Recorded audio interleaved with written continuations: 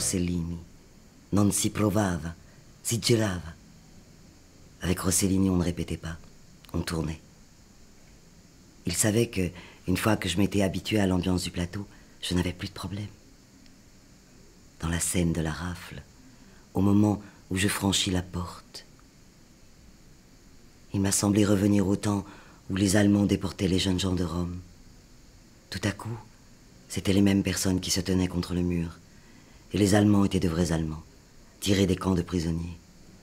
Tout à coup, je n'étais plus moi-même, j'étais le personnage.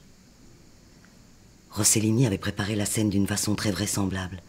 Les femmes ont pâli en entendant parler les Allemands entre eux. Tout cela m'a fait peur, et on le voit dans le film. C'était terrible.